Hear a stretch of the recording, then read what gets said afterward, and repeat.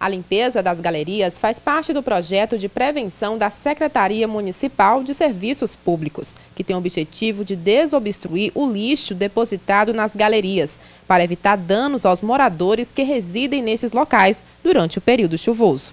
É, logo aqui na, é, no final do mês de outubro, é, o Padre Valmir, nosso prefeito Padre Valmir, ele sempre tem essa preocupação, ele nos reúne o secretário para com essa é, a ideia de nós limparmos a galeria. Tem essa preocupação e é, fizemos um planejamento junto com ele para que nós estamos possamos limpamos todas as galerias aqui da cidade de Picos, é, em diversos bairros. Então é, iniciamos é, é, essa limpeza agora no início do, do mês de, de, outubro. Estamos concluindo aqui no, no bairro paroquial e que também é, estamos atendendo um asseio da população. A população também sempre nos cobra muito então, estamos fazendo esse trabalho em parceria com a Secretaria de Obra. Logo após a limpeza, é, a Secretaria de Obra vai passar fazendo os reparos nas diversas galerias que nós estamos realizando a limpeza. Equipes da Secretaria de Serviços Públicos estão espalhadas pelos bairros da cidade realizando a limpeza, principalmente nos locais mais críticos, como é o caso do bairro Paroquial. É, nós já fizemos é, diversos bairros, já, é, nós já realizamos a, a, limpeza em todas as galerias, as sarjetas, que recebe água aqui dos, dos morros. Fizemos no bairro Junco, né, lá tem diversas galerias. Fizemos no Cainágua e fizemos no Canto da Várzea, Passar Pedras e, e, vamos concluir aqui no bairro Paroquial. O bairro Paroquial é a mais crítica aqui nesse sentido da galeria, porque recebe muita água.